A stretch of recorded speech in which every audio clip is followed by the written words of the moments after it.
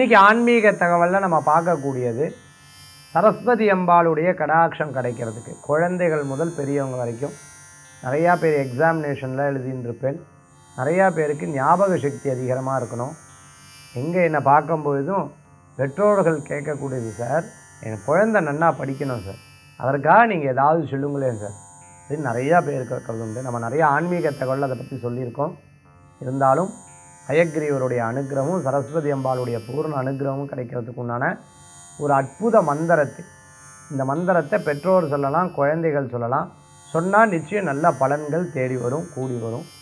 தினமும் இருபத்தி ஏழு தடவை காலையிலையும் இரவு தூங்குறதுக்கு முன்னாடி இந்த மந்திரத்தை சொல்கிறது காலையில் எழுந்த உடனேயும் இரவு தூங்குறதுக்கு முன்னாடி சொல்கிறது ரொம்ப விசேஷ பலன்களை கொடுக்கக்கூடியதாக இருக்கும்.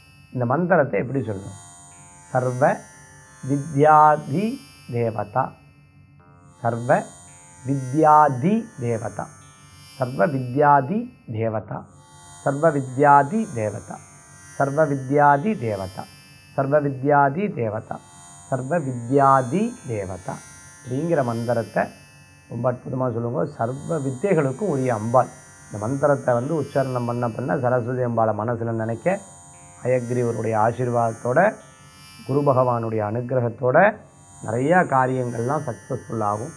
நல்ல முன்னேற்றம் கிடைக்கும்னு சொல்லி இன்றைய தினத்துக்கு உண்டான அற்புத ஆன்மீக தகவலை பார்த்தோம். மீண்டும் நாளை சந்திக்கும் வரை உங்களிடமிருந்து விடைபெறுவது ஜோதிஷாச்சாரியார் ஜோதிஷ கலாரத்னா டாக்டர் மகேஷ் வேல்வேல் முருகா வெற்றிவேல் முருகனுக்கு அழகர் நன்றி.